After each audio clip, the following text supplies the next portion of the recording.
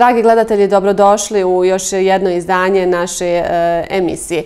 Dakle, današnji e, moj gost je predsjedavajući gradskog vijeća Lukavaca Suad Salibašić. E, želim razgovarati s njim. E, evo, na kraju e, kazali bismo e, sastava ovog vijeća u mandatu, ovom održana evo, i posljednja sjednica u ovoj godini. Ostalo je još nešto posla da se uradi, ali evo, o svemu tome ćemo razgovarati u nastavku ove emisije. Dakle, kako sam kazala, sa mojim današnjim e, gostom, a to je Suad Salibašić, predsjedavajući gradskog vijeća e, Lukavac.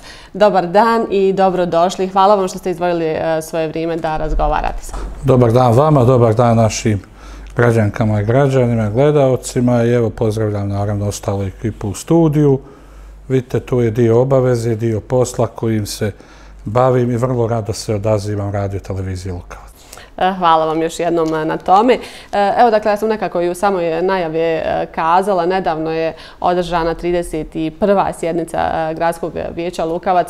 Dakle, za ovaj mandat, evo nekako i pred kraj ove godine, kazali bismo posljednja, ostalo je još nešto posla, pa evo, kažete nam vi nešto o tome. Pa evo, otprilike, kada, je, kada su pitanju te redovne E, sjednice, otprilike je sjednica u sedmom mjesecu koja se održi pred uh, lokalne izbore, uglavnom i vrlo često bude u tom samom kraju mandata posljednja, ali evo mi ne znamo šta se može pojaviti, vijećnici su u mandatu i ukoliko se pojavi obaveza za zasjedanjem e, još neke sjednice, oni će naravno biti obaviješteni i bit će sazvana sjednica.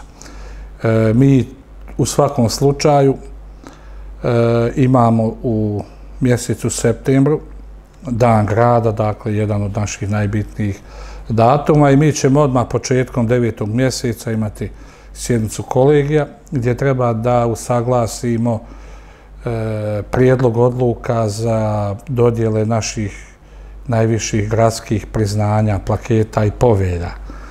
Javni poziv je kada je u pitanju, kada su u pitanju ta priznanja završen, I komisija, evo, počela, nadležna komisija je počela da radi svoj dio posla i oni će još u mjesecu augustu vjerovatno imati jedno zasjedanje ili dva, obaviti potrebne pripreme za e, gradsku vijeća. Mi ćemo vjerovatno početkom devetog mjeseca, kao što sam već rekao, imati tu sjednicu kolegija na koju ćemo i zakazati e, tu sjednicu gradskog vijeća na koju ćemo usvojiti tu odluku kako bi dakle da dan grada mogli imati sve spremno i mogli izvršiti do dodjeljivanje. Tako da evo, e, 31. Sjednica je završena, o tom ćemo razgovarati o toj sjednici posebno nešto malo kasnije, ali ono što mogu kazati jeste da smo mi u ovoj godini kao i u prijetudnim godinama donesli vrlo važne odluke.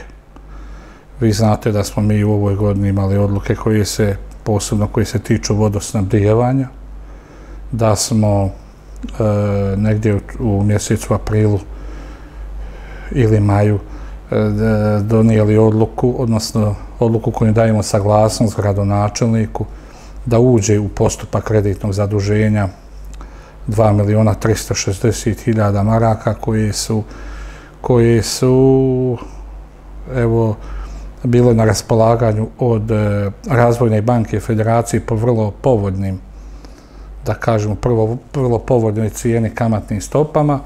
Gradsko vijeće je dalo tu saglasnost, a zatim vrlo brzo čini mi se odmah na narodnoj sjednici i saglasnost na samo kreditno zaduženje, jer je evo provedena potrebna procedura.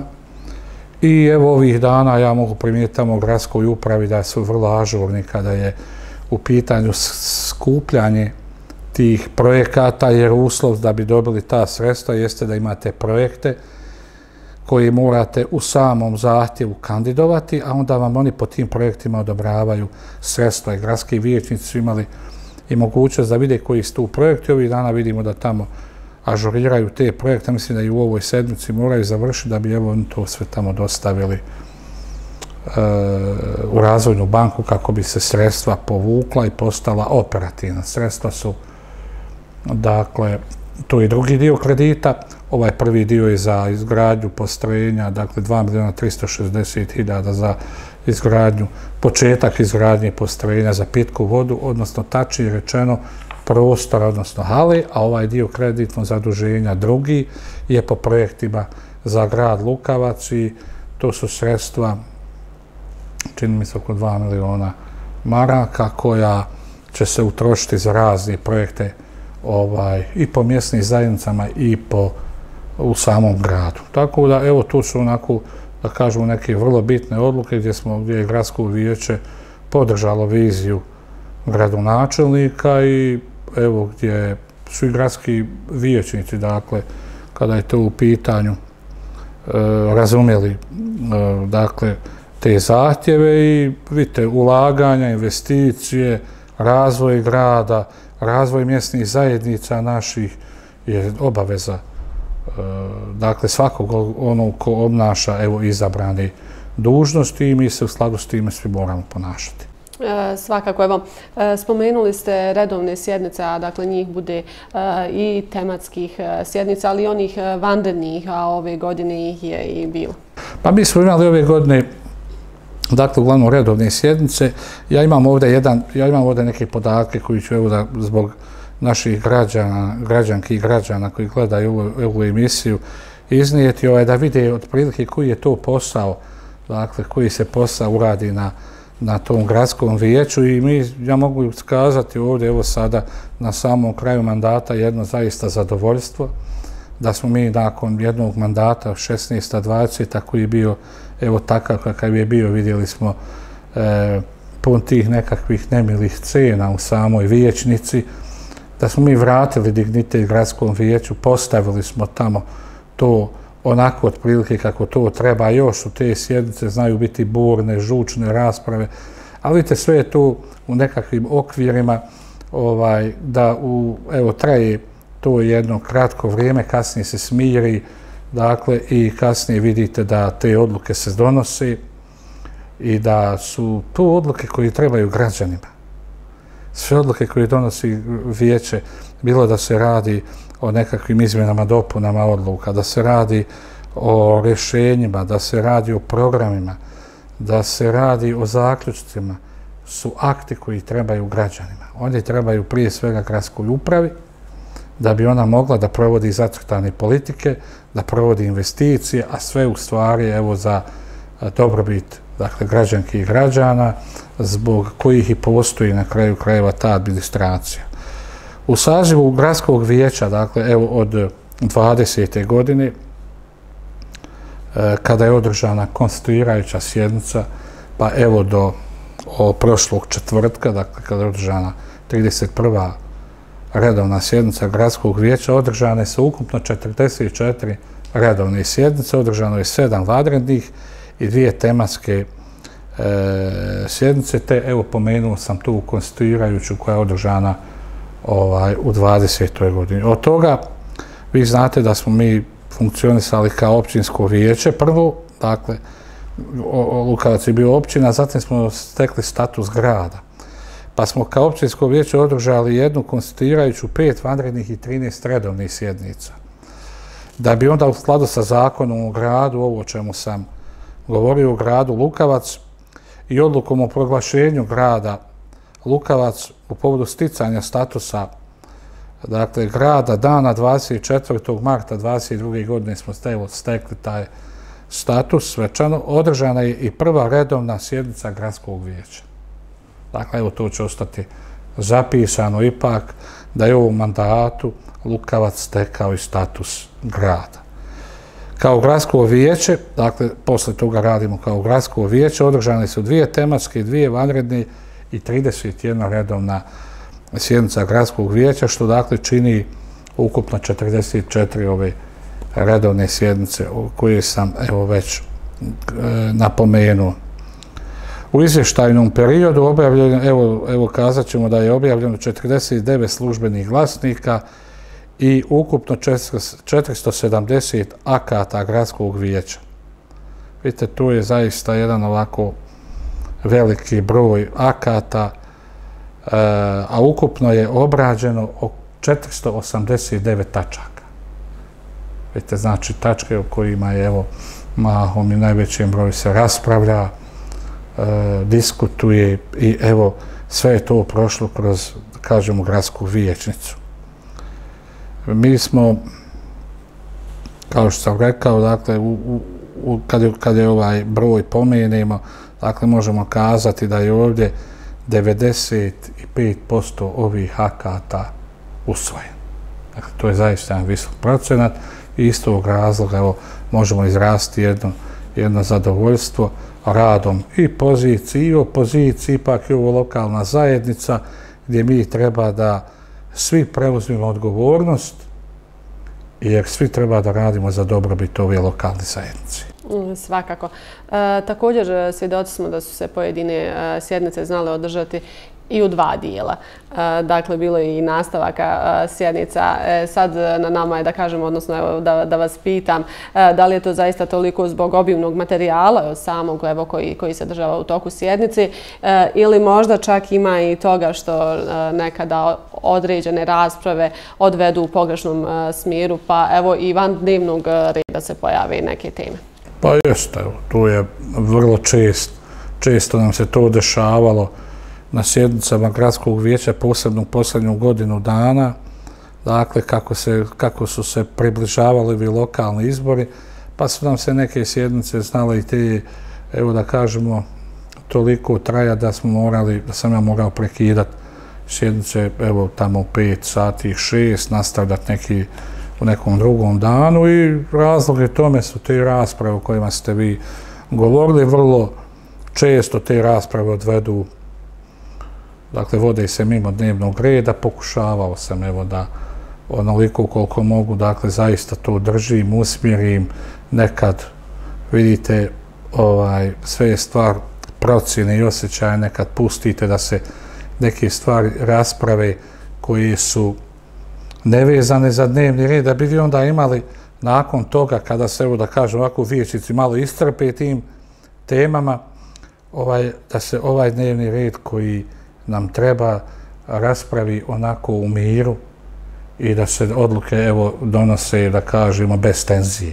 Tako da sam evo i o tome malo vodio računa. Naravno, nekad sam morao praviti i pauze da se sve to smiri, konsultacije.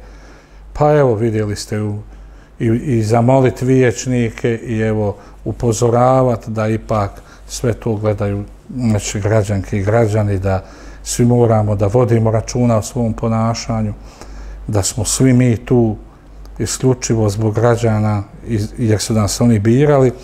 Iako to svi oni znaju i nikome to posebno nema potrebe da se e, ne bi trebalo jel, da se e, da se napominje, ali evo, to je na kraju krajeva sastavni dio tog e, demokratskog načina predstavljanja E, E, građana i evo mislim da je to sve kad se sabere i oduzme u principu i najvećem dijelu bilo ipak prilično korektno. E, naravno. E, evo, moramo spomenuti, e, vi ste već govorili o nekim bitnim odlukama e, koje su i donijete i usvojene. Međutim, svake godine usvajaju se i izvještaji javnih ustanova sa područja našeg grada kojim su upravo osnivače gradsko vijeće. Pa evo, i to je, moramo kazati, bitno. Pa jeste, mi smo imali, mi smo imali, kako se sjećate, na početku mandata, E, zamjerke gradskih vijećnika da nam se kasno dostavljaju izvještaje javnih ustanova, javnih preduzeća, pa smo onda donosili tamo na gradskom vijeću zaključke da se to radi u prvom kvartalu, da evo pokušamo disciplinovati naše javne ustanove, odnosno direktore i, i, na, i upravne i nadzorne odbore, pa smo onda to uspjeli da malo, da malo da, da kažemo ovaj, na nekakav način uvedemo u red, da dobijamo to blagovremeno.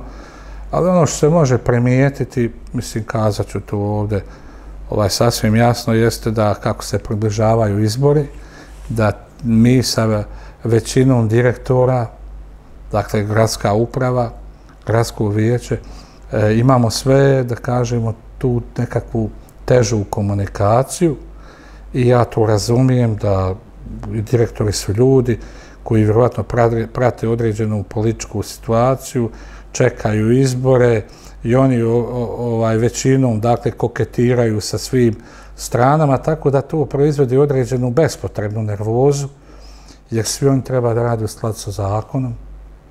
Niko ne može na njih da vrši nikakav poseban uticaj. Svi imaju svoje akta, svi imaju svoje pravilnike.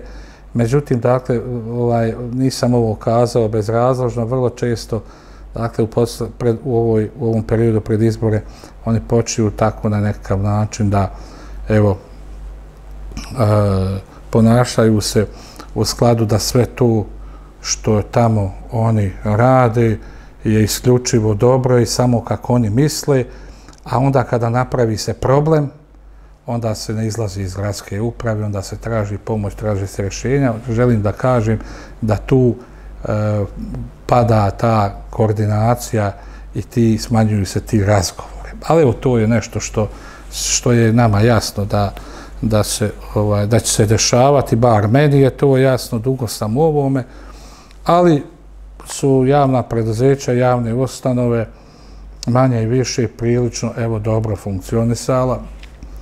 Naravno, negdje je to malo bolje, negdje je to malo slabije išlo, ali ne možemo kazati da nam direktori nisu bili odgovorni, da nam upravljačke strukture, mislim da upravne odbore i nazivne odbore nisu bili odgovorni, to naravno ne možemo kazati. E, neki su izvještaji padali, to moramo ovdje reći, da su neki, vi, to, vi ste to pratili, neki su izvještaji padali, ne, većina izvještaja ipak usvajana i ono što je izazivalo uvijek posebnu pažnju, e, po najviši, uglavnom je e, javna zdravstvena ustanova Dona zdravlja Lukavac, učer smo imali jednu preskonferenciju, e, gradonačelnik i, i pomoćnik direktora Doma zdravlja za pravna pitanja i ja. Imali smo potrebe da još neke stvari do, to objasnimo. Oko javne zdravstvene ustanove se evo dakle uvijek to malo raspravlja drugačije. Naravno tamo rade, da kažemo, najobrazovaniji ljudi.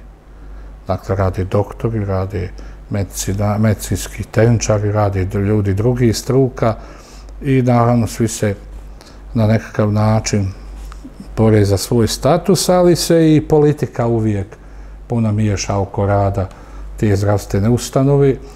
E, imali smo, usvojili smo izvještaj, naravno, Doma zdravlja, kada je tu, kada govorimo o njemu u ovoj godini za prošlu, usvojili smo izvještaje i našeg javnog komunalnog predzijeća rad, koji također izaziva vrlo često pažnju, jer je to predzijeće s velikim brojem radnika, sa velikim brojem problema, sa problema koje smo evo uspješno rješavali ove četiri godine, borili se da popravimo status tih ljudi koji zaista e, imaju male plate, borili se da spasimo preduzeće na početku mandata, dakle koje je bilo, e, evo da kažemo, na korak do stečaja.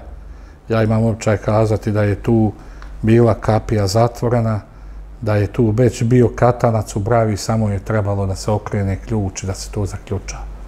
Evo, mi smo tada kazali, moj lično stav bio, mada i gradonačelnik mislio drugačije, da preduzeće ne treba ići stečaj, da ga trebamo spašavati, jer ipak tu radi puno ljudi. Svi su ljudi uglavnom iz sa teritorije Lukavca i evo prehranjuju svoje porodice sa takvim platama kakve jesu. Evo uspjeli smo kasnije naravno sa menadžmentom koji smo imenovali u to vrijeme i direktora Muminovića i novu, novi nadzorni odbor, ljude koji su se zaista angažovali da evo vrati se ti, ti krediti, pogotovo obaveze prema Poreskoj upravi koja je visila za vratom da, da blokira preduzeće i da evo malo preduzeće prodiši, da malo evo e, napravimo to stanje komotnije dole, mada je dakle uvijek tu puno problema jer su navike u preduzeću samih ljudi malo drugačiji. I evo, i, i, i taj izvještaj naravno usvojen, borili smo se da evo, centar za kulturu napravimo dakle, da bude zaista to kako se zove. I evo, mislim da smo to uspjeli. Dakle, dovedeni su ljudi koji su zaista od tog posla, od te struke i evo, vrlo često kritikovani, vrlo često ne, i oni ne budu, ovaj, ih ne razumiju drugi koji nekakve odluke u njima dolaz, donose, ali su radili ovih godina dobar posao. Mislim da će se s time složiti i naj, velika većina naših građana, radio televiziju Lukavac, dakle, gdje također možemo biti zaista zadovoljni sa, sa vašim ukupnim angažmanom, vas kao uposlenika koji možemo vidjeti na svakom događaju, u svako doba dana, bez obzira koji dan u sedmici bio. To je zaista za svaku pohvalu sa evo, svim, s tim brojem koji, koji vas ima u, u televiziji i opremom koju imate i moram evo, iskazati tu jedno zadovoljstvo i naravno kada je u pitanju rad i direktorice i upravnog odbora, ali i vas kao ljudi koji evo radite, zarađujete svoju platu i odgovornost koju pokazujete. E, evo, tu je naravno i obdanište, tu je naravno i centar za socijalni rad koji evo ovaj puta nije dobio podršku za izvještaj. Naravno tu je taj manja komunikacije, ali evo rade poslove i svoje nadležnosti koji su propisani zakonom. I evo završću s time, vodili smo e, stalnu, da kažemo, kadrovsku politiku u smislu popunjavanja, sada smo tu na 31. sjednici baš imali čini mi se 5-6 takvih tačaka, e, popunjavali smo tu kadrovsku strukturu naših javnih prezeća, javnih ustanova, jer se vrlo često dešava da da nam ljudi koji su u upravnim odborima odu na druge pozicije, odu da žive negdje drugo i nijedna javna ustanova, javno preziće ne može funkcionisati bez upravljačkih struktura. Naravno, tu su naši putevi komunikacije, VIK, veterinarska stanca, mislim da sam sve to pomenuo i da, evo, oni su zaista u tom smislu se trudili, evo, kazao sam manje i više, ali, evo, uspješno da obave svoje poslove. E, naravno, e, moramo da spominimo e, evo i koliko ste zadovoljni, evo da li ste zadovoljni i sa radom vječnika evo koji su u ovom sastavu, u ovom mandatu? Pa vidite, ja nemam u principu viječnicima šta pregovoriti. Viječnici su ljudi koji prije svega treba da odgovaraju građanima, a tek onda svojim partijama. Ja to evo doživljavam tako i na takav način. Oni su predstavljali, zastupali svoje politike, vjerovatno utvrđene na evo stranačkim organima, tijelima, iznosili ih tamo. Nekad se to nekad je to bilo, evo da kažemo, na jedan način koji je diskutabilan, možda, možda nekad, evo, kazao bi, manje primjeren, ali evo, kazao sam već jednom, sve kad se to sabere i odozme prilično je to bilo korektno i mislim da je to bilo drugačije i puno, puno bolje nego ono što smo imali u mandatu 2016-2020, što daista građani u, u tom periodu Lukavca dakle, nisu zaslužili da se to dešava. U gradskoj vijećnici u mandatu je to ipak bilo na jednom drugom nivou. Evo, pokušao sam sa svoje strane da unesem dakle, evo, jedan novi stil, način međusobne komunikacije, međusobnog odnosa i poštovanja, jer bez obzira što dolazimo iz različitih partija, iz različitih stranaka, mi smo ljudi koji živimo na teritoriji grada Lukavca, mi smo ljudi koji se znamo, mi smo ljudi koji predstavljamo naše građane koji su za nas glasali i koji tamo zajedno sjede i piju kafu, druže se, glasaju za različite stranke i to je, znači, nama poruka da i mi tamo moramo da komuniciramo na jednom pristojnom nivou, da pokažemo političku kulturu i da jednom takvom ambijentu donosimo odluke koji, evo, kazao sam nekoliko puta, trebaju građanima. E, svakako. E, evo, odmah e, da povežimo nekako sad taj odnos pozicije i opozicije.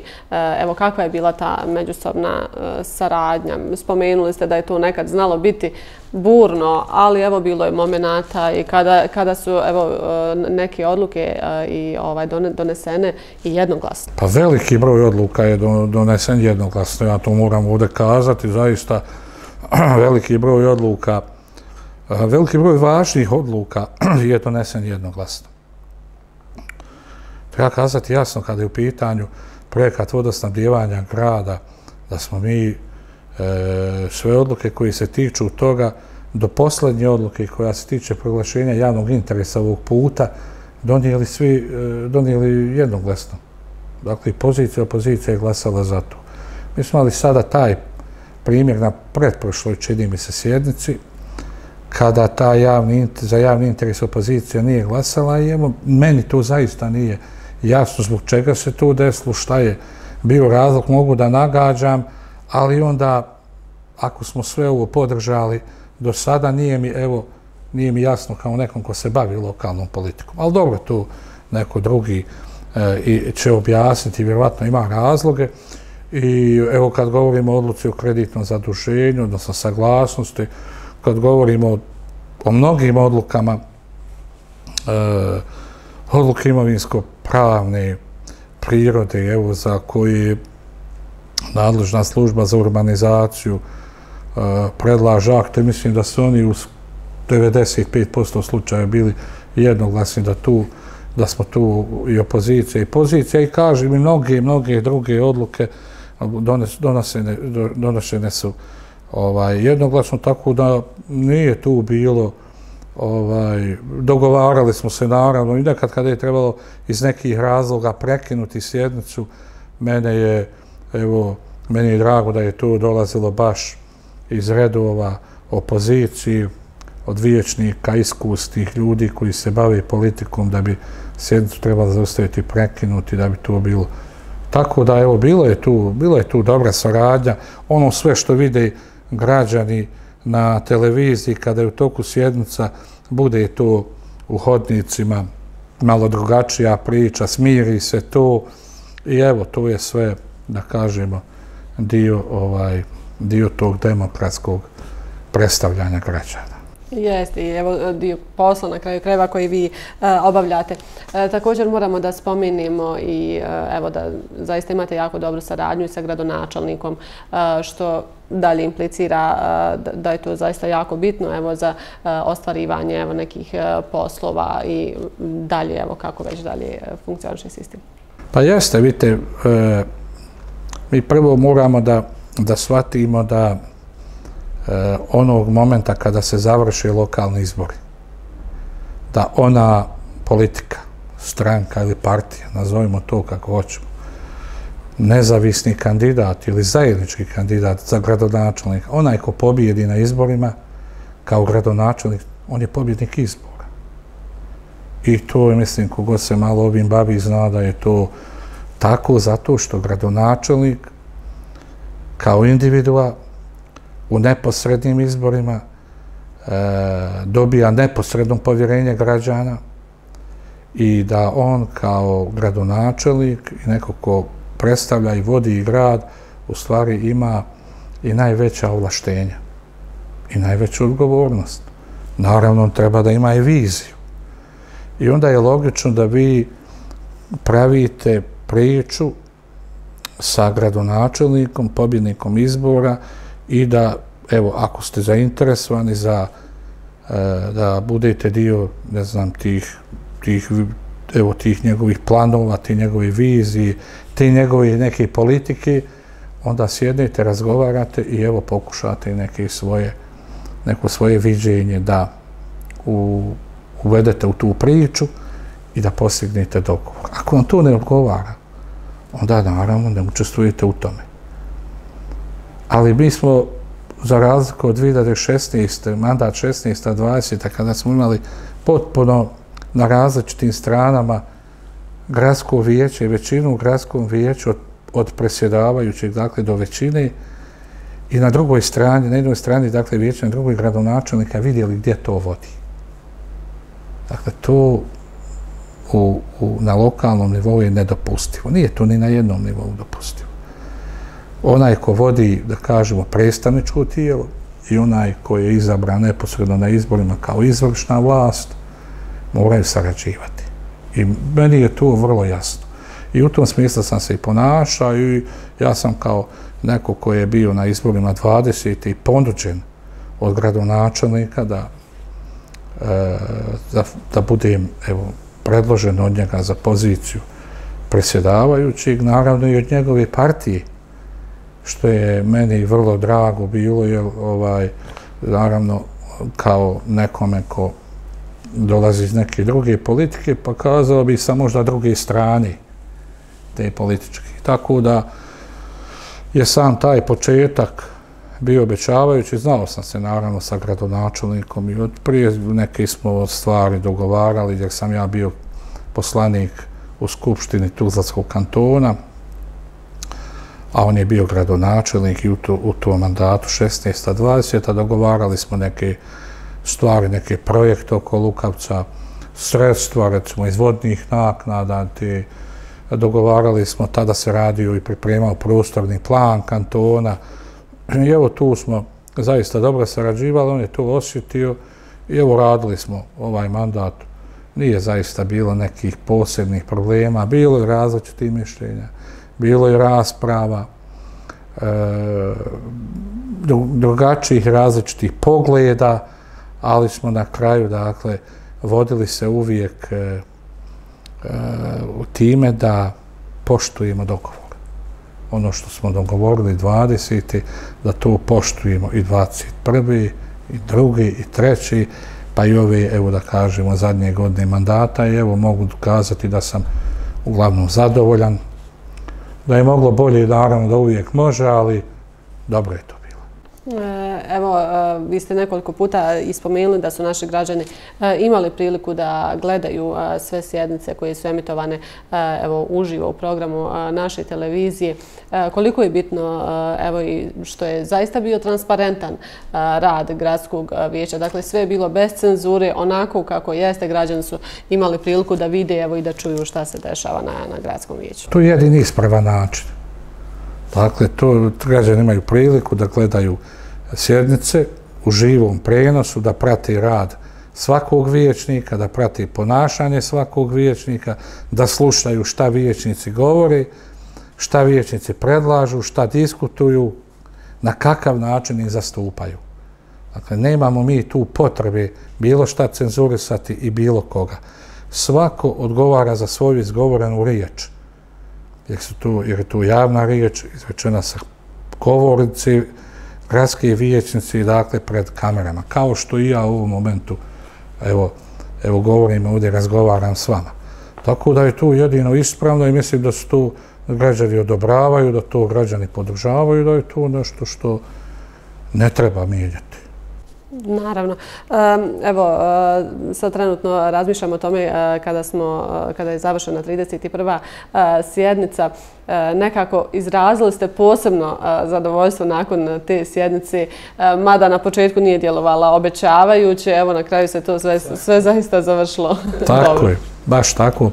Sjednica je počela u, dakle, jedno, krenula je na jedan način, ja sam i očekivao, s obzirom da smo tamo imali neke prijedloge, za dopunu dnevnog reda koji nisu podneseni u skladu s poslovnikom. Dakle, i oni podnosioci su znali da to nije ovaj, na vrijeme i u roku i znali su da ne može biti uvršteno, ali je trebala naravno tema, opoziciju uvijek treba tema i to je sasvim legitimno u politici i onda se otvorila rasprava oko javne zdravstvene ustane i doma zdravlja koja je čini mi se trajala možda i dva sata, ne znam, evo, vi ispravite me ako griješ, imali sat i po dva sasvim sigurno, ovaj, gdje smo slušali jednu i drugu stranu, dakle, argumente jedne, druge, na kraju smo, sam uspio, evo, da to, da to nekako presjećemo, završimo tu temu, da usvojimo dnevni red i onda zanimljivo da smo do 13 sati završili sve ostale tačke, odnosno sav dnevni red koji smo usvojili, ovaj, negdje čini mi se 12, 13, 12 točaka i, i 13 ovaj vijećička pitanja, inicijative i sve smo usvojili. I veliki broj tačaka jednoglasno smo usvojili, završili sjednicu, čini mi se u mandatu nikad efikasnije i brže. Evo ja se ne mogu sjetiti, možda je neka i bila, ali da, je, da smo brži, ne znam. Tako da su mi i iz medija odmah tu koji su bili prisutni prišli i kazali dobro je ovo bilo svaka čast, a svi su očekivali maratonsku sjednicu koja će trajati, kao što smo malo prije govorili, možda i dva dana. Tako da, evo, govorio sam o tome, neka se na tim temama koji nesu, nemaju veze sa dnevnim redom, toliko vječnici, da kažemo, iscrpe, pa da onda kad, kad dođe na raspravu, ono što treba da usvajamo, dakle, jednostavno izgubi malo i volju. Ali evo, mi smo, ovaj, mislim da i tu na kraju sve bilo prilično ipak korektno. Imali smo argumente s jedne i s druge strane. Građani će procijenti koji je tu na kraju krajeva, evo da kažu iz tog duela, pobjednik. I evo, bitno je da i tu sve u granicama fair play što bi kazali. Naravno. Evo, predsjedavajući, nekako bližimo se kraju ovog razgovora. Manje više smo evo, iznijeli sva, sva dešavanja vezano za rad gradskog vijeća. Pa evo, vi kao predsjedavajući, koliko ste zadovoljni? Da li ste zadovoljni? I evo, još jednom da spomenemo, dakle, ostala je još jedna sjednica evo, prije lokalnih izbora, ali ta sjednica će biti svečana, da li kao akademija ili kao sjednica, to ćemo, to ćemo da vidimo. E, evo generalno, dakle, neka vaša e, ocjena. Pa ja moram prije svega da se zahvalim građanima koji su me 20. godine, 2020. godine, dakle, izabrali. Moram da se zahvalim e, svima koji su me predložili i svima koji su glasali za mene kao gradski viječnici. Ja dobio sam tada dvotrećinsku većinu na, na tajnom glasanju za predsjedavajućeg gradskog vijeća i bila mi zaista čast da to budem jer ne, pri, ne, vidite, ne pružava se često prilika ipak da presjedavate gradskim vijećem, da budete u jednom mandatu kada iz opštine dobijamo status grada. Puno lijepih događaja se desilo za evo ove četvrtu godinu, jel sad će skoro i četiri godine, e, puno lijepih događaja, posjeta, e, puno, da kažemo, prijema nekakvih gdje je zaista to bilo. Imao sam priliku, dakle, da puno vremena provedem s našim boračkim organizacijama, da primim puno građana. Ja sam neko koji je zaista primao puno građana, nisam stavljao tamo ni radno vrijeme, ni dan, ni otkad, okad, kad god je neki građanin imao potrebu da dođe i mogao je čekati onoliko koliko traje sastanak da završim. Ako je mogao sačekati, ja bi naravno sve to primao i znaju to oni. I jutro sam to radio, i juče i opet sutra. I mogu vam kazati da je to nešto zaista, evo što ću sasvim sigurno pamtiti u životu kao jedan od najljepših evo, perioda kako se bavim politikom. E, sve ovo što sve, sav ukupan rad eh, vijeća za ovaj mandat naravno da je da mogu da budem vrlo zadovoljan. Zadovoljan sam upravo iz razloga da smo donosili neke odluke koji su zaista vrlo bitne za građane koji će se, dakle, čija će se važnost i težina tek u narednom periodu vidjeti. E, prošli smo eh, neke procese, govorim posebno o vodosnabdijevanju, prolazimo kroz procese koji su, vjerujte, vrlo komplikovani i teški, u koje se trebate zaista biti hrabri e, i, i na jednom vrlo visokom intelektualnom nivou da se upustite u takve projekte, da ih započnete i da s njihovom realizacijom krenete. Ja tu moram čestitati gradonačelniku zaista na hrabrosti, to sam kazao, nekoliko puta kada govorim o ovom projektu vodosnabdivanja, koliko god ga neko osporavao, na kraju će se vidjeti da će to biti jedna dobra priča koju treba vremena. Puno je tu razloga, ja sad o tome ne, ne želim da pričam, niti ja o tome mogu, puno je razloga zašto to ide tako sporo. Mogu, moram da izrazim želju i funkcionisanjem svih ovih čitavog sistema, da tako kažemo, e, usluge, koju pruža grad Lukavac i kroz svoje javne ustanove, čiji je osnivač, naša javna zdravstvena ustanova Dom zdravlja, koja obslužuje naše građane. Tu tamo dolaze uglavnom bolesni ljudi, sa kojima morate imati poseban senzibilitet, prema kojim morate imati posebnu empatiju. Da je sve to tamo dobro, znamo da nije, ali evo trudimo se. Teško je i ljudima koji rade, a teško je napraviti, da kažemo, idealne uslove. Ali radimo sve da građani budu što zadovoljni.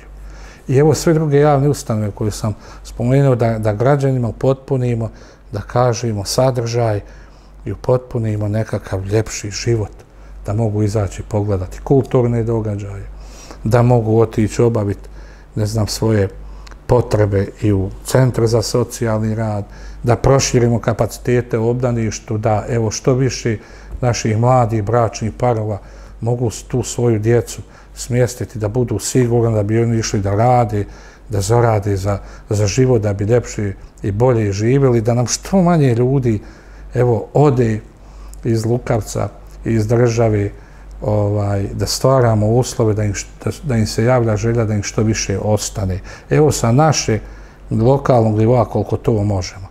Sve smo to zaista gledali da kroz ovaj rad, kroz poruke sa gradskog vijeća, kroz ove poruke da je Lukavac grad u kojima različitosti ne smiju biti problem, u kojima su drugi i drugačiji bogatstvo, u kojima se moramo poštovati, dakle, bez obzira kako se ko zvao. To smo pokazivali našim građanima odlascima i na, evo da kažemo, događaje u našem župnom uredu i da događaje kada obilježavaju naši, naše komšije pravoslavci i na naše posjete našem glavnom imamu za, eh, evo da kažemo, Ramazanski kurban Bajram. Zahvaljujem se naravno i jednim i drugim i trećim na njihovim pozivima koje smo dobijali redovno. Redovno smo pozivani. I od našeg glavnog imama za, i za Ramazanski, za kurban Bajram, i od župnika za, da kažem, obilježavanje Božića, obilježavanje patrona, od naših E, pravoslavnih sveštenika koji su koji su i dolazili tu u našu gradsku upravu, na naše pozive, pokušali smo da pošaljemo te poruke tog suživota, e, poruke mira. Evo, trudili smo se i to, dakle, radili smo zaista sve ono što građani imam osjećaj žele da vide. Pokušali smo da te blokade, i mislim da smo zaustavili blokade koji smo imali od 16. do 20. No, obezbijedili protok dokumenta, jakata, obezbijedili gradskoj upravi da može investirati, radi, trošiti budžet. Budžet se mora trošiti. I evo sve je to nešto, čini mi se što je u gradskom vijeću i u radu gradskog vijeća, čini mi se ipak poslalo jednu dobru sliku. Predsjedavajući, hvala vam. Zaista meni je bilo zadovoljstvo razgovarati danas sa vama i mi svakako želimo sreću u daljem radu. Hvala vama na pozivu. Dragi gledatelji, hvala i vama što ste nas pratili i ostanite i dalje uz program radio televizije Lukavac. Lijep pozdrav!